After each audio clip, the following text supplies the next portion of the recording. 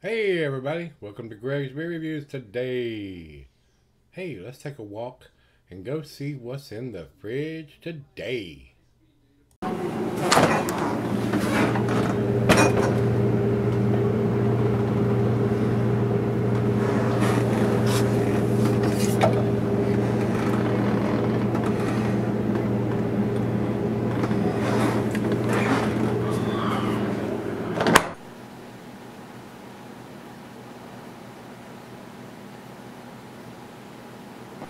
Hey everybody, welcome to Greg's Beer Reviews today. Thanks a bunch for stopping by, I do appreciate it. Guys, we're going to continue on with the beers that Josh has sent me.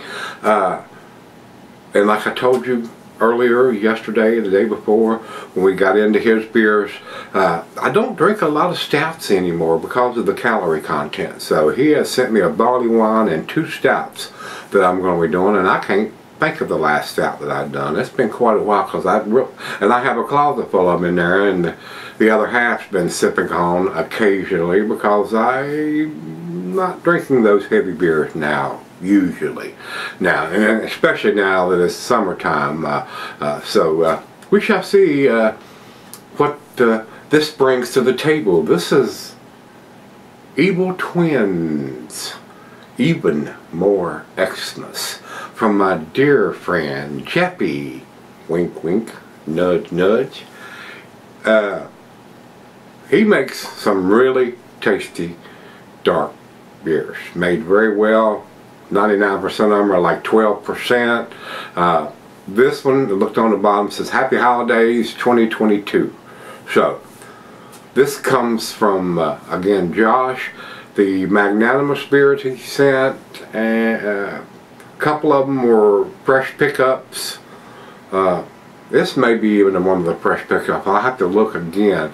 But a couple of them were out of his private collection uh, that he'd been saving or cellaring. So, and I do appreciate that. Anytime somebody's pulling something out of their private, not just buying it to send, uh, it's it's special. I mean, it it means a lot when somebody's pulling stuff out of their cellar to send to me. So again, thanks a bunch, Josh. I do appreciate it.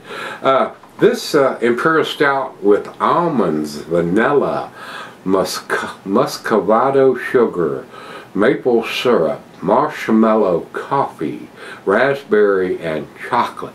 Man, I bet this thing costs $25 a can with all that stuff in there. And Evil Twin beers are very pricey. They are around here in Virginia. Uh, especially here uh, around the Roanoke area. Uh, when I go over to the craft beer store, Martin usually has these these beers uh, from him over there, but they are very, very expensive. You won't buy an Evil Twin beer over there probably for less than 20 bucks. Guarantee it won't be less than 15 for a 12 percenter. They're pricey around here. So again, but they're very well made. Now, some of the other stuff, eh, I wasn't so impressed, but all these dark, heavy stouts that are blended with all this stuff that he does, uh, they're usually pretty tasty. So I'm hoping this is going to be the case on this one.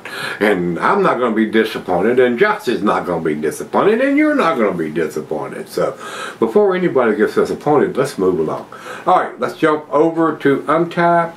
Uh, I already told you what they brewed it with. Notes of chocolate, roasted malt, and caramel with accents of dark berries, vanilla, coffee, maple, and nuts, full-bodied and sweet. Looks like molasses in the glass here on Untappd, guys. So, this being a 12% with a 2022 Happy Holidays, so I would say it was November or December. So, it's six months plus. Uh, to the glass, we go. Yep, very typical looking of some his. I mean, uh, just a slight hint of a little bit of light coming through there, but it is pitch black in the glass, trust me. And you see, it's not pouring any head whatsoever. A lot of these big ABV beers do not, especially the stout. So we're going to we're going to kick it up a notch for 12 here. I hope it don't kick it up 12 because I don't want to clean up a mess. But we're doing the massive swirly swirl to get everything out there and get it all roused up a little bit. Now we're going to do a direct down the center.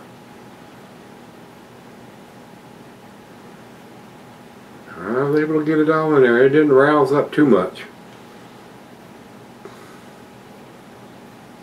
So, but I do want to get it all in there, like I said, because this is a very, very pricey beer to purchase, and I don't want to leave any of it in there. And it's still coming out, you can see it. Look at the foam, it's still rolling out of it. You can see it, it's, it's, it's like a float in there. So maybe it'll calm down a little bit on it. Anyway, guys, that's a full glass right there. Now, if you can get a glass like that when you buy one in a bar, be worth it, wouldn't it? Don't give me 10 fingers of head. About a quarter inch to a half inch on a stout will do just fine for me. I don't need a big monster head on a stout, especially when you get a lesser pour anyway. You won't get a 16 ounce pour. You'll get an 8 ounce pour and it'll cost you three or four or five dollars more than a 16 ounce pour of a IPA or a lager or something. So, and I'm flapping my gums, so over to the light. Guys, there's more light in here than outside now. The sun has set, but it's pitch black. It is pitch black. What do you think? Looks like a stout? Hmm? My buddy Jappy. To the nose we go. Roasted malt, caramel, raspberries, not getting a lot of almonds on the nose. Maybe a hint of some toffee or caramel. And no doubt there's some chocolate. Probably some chocolate malt in there. I doubt they actually put any chocolate. They're getting that from the malt, I would say. I don't know. He might have put a little bit of chocolate in it. Who knows? Smells good, guys. Let's dive in. Cheers, everybody. Cheers, Josh. Thank you, sir.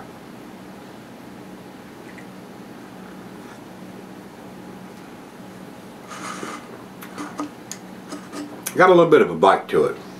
Raspberry bite. Little bit more bitter than I like. I guess all these uh, lactose beers and milkshake beers has ruined my palate.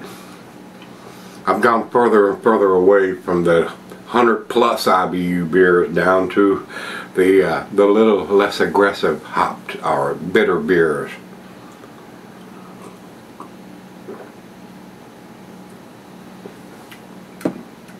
Again, that's a tasty beer, guys. Not blowing my hair back or my socks off. The raspberries are a little too prominent for me and too bitter. Decent beer. It's a decent beer. I would probably even step it up to a, a, a tasty beer. Uh, this is probably going to barely scrape into the A category, I'm going to reserve that judgment till I get to the bottom. I'll be right back. Alright guys, I'm back. Got just a little left here. Not a lot of lacing, and that happens a lot on these big ABV stouts and stuff. This is a little too bitter for my palate. I mean, a couple years ago, two, three years ago, this may have been a lot better to me, but now that I've got out of drinking these high-calorie imperial stouts, it's not working for me now. A lot of you guys will probably think this probably a 10 beer, and it may have been a 10 beer for me at one time, but now that I've gotten away from this style, eh, not so much anymore. It's a little too bitter for my taste. So, final choke.